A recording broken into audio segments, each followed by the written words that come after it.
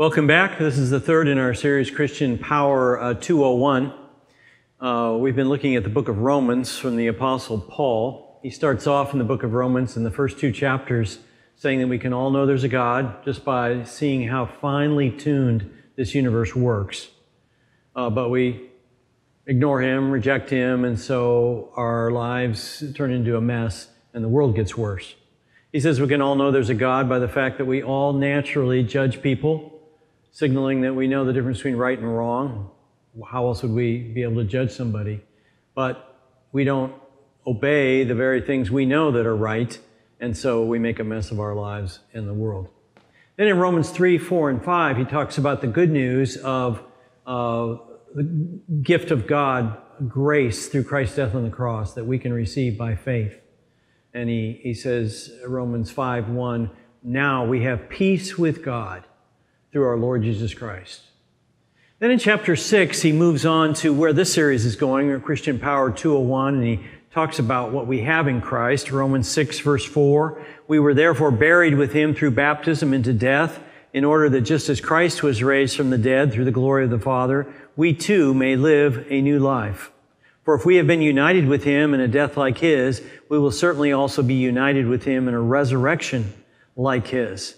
So he's talking about the great things we have in Christ.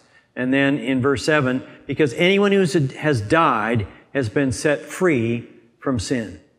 So Romans 6 talks about the great victory we can have through Christ uh, over sin.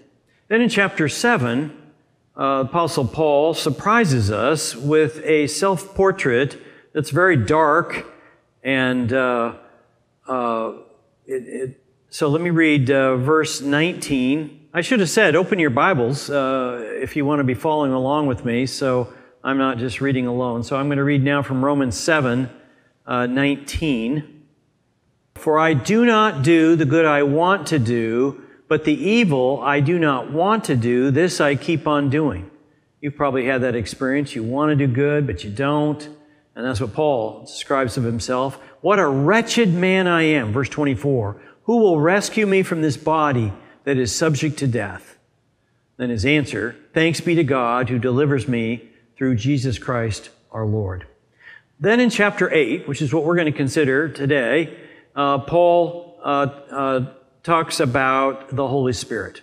The Holy Spirit is really the answer. So in Romans 7, he's talking about what it's like to try to live as a Christian without the power of the Holy Spirit. It's not pretty. It, it's a wretched man we don't do what we want to do on our own power. Just like we can't save ourselves on our own power, we can't sanctify ourselves on our own power. So Romans 8, he talks to us about the Holy Spirit. The Holy Spirit is mentioned in Romans 7 only one time. In Romans 8, 1 to 27, he's mentioned 19 times. I have a question for you. Why don't you uh, ask this to, with your partner or people in your group? How much do you know about the Holy Spirit? How much do you feel you've been taught about the Holy Spirit? This isn't a long answer, just give a quick answer.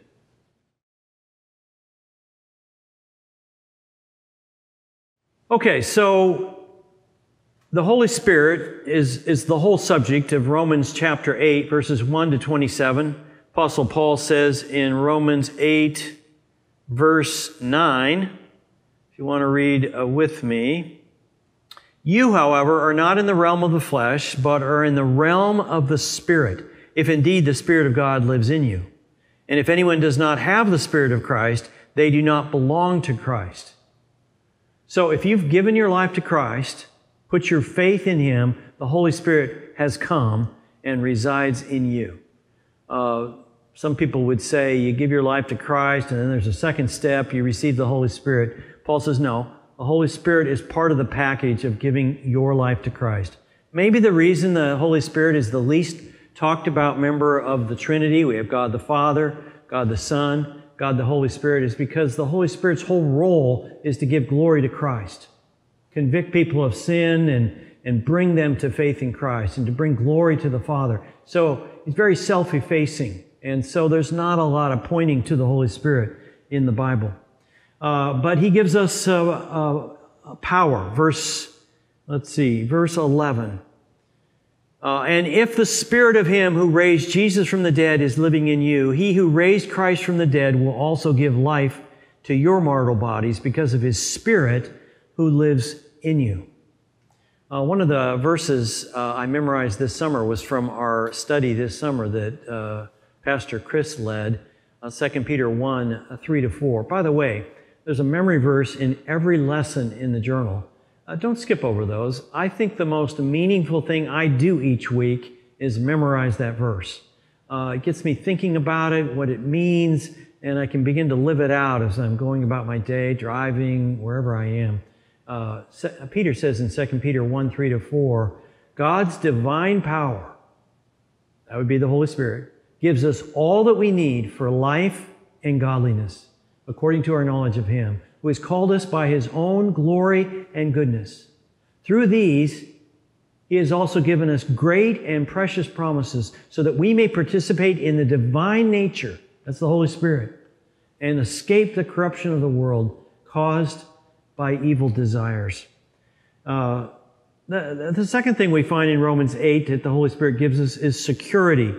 Verse 15 The Spirit you received does not make you slaves so that you live in fear again. Rather, the Spirit you received brought about your adoption to sonship, and by him we cry, Abba, Father. Verse 16, the Spirit Himself testifies with our spirit that we are God's children. Uh, the Holy Spirit inside us assures us that we really are Christians.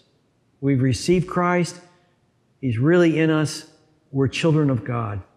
And then the last thing I notice in this chapter is the Holy Spirit gives us strength. Verse 18 I consider that our present sufferings are not worth comparing with the glory that will be revealed in us.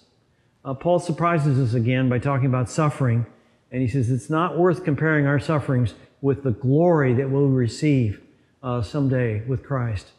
Um, so, my question to you to, to talk in your group is how has the Holy Spirit given you strength to handle the sufferings in your life, the difficult times, uh, the tough times? Why don't you talk about that for a few minutes? Then go about your, your study uh, look through the journal, uh, uh, pray together. Hope you have a great time. Thanks.